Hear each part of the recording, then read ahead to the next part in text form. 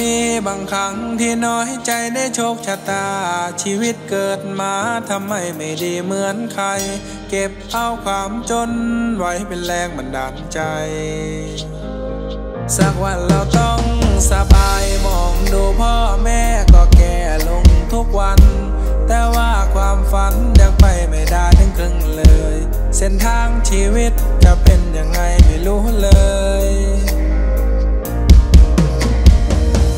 เก็บคำที่แม่สอนยังมาเป็นก่อนให้ลองฟัง ถ้าเจ้าอยากสบายเป็นเจ้าเป็นนายเด้อคำเลือกทางที่เดิน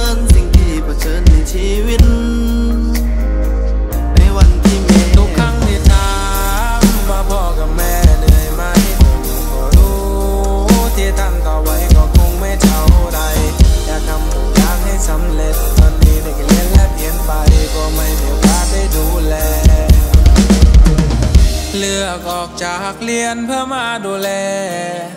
แล้วแต่ใครจะว่าลูกไม่ได้แคร์มันคงไม่มีความหมาย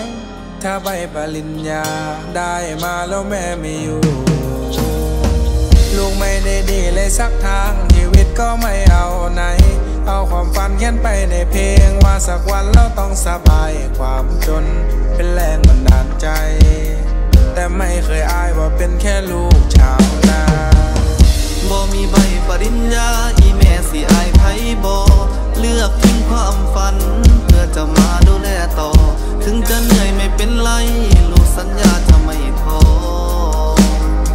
อยากให้สบายมันปลายชีวิต ฟังเด้อฟังแม่สะก่อนขันเจ้าเหนื่อยก็มานอนแม่สิก็ไม่เจ้ารับ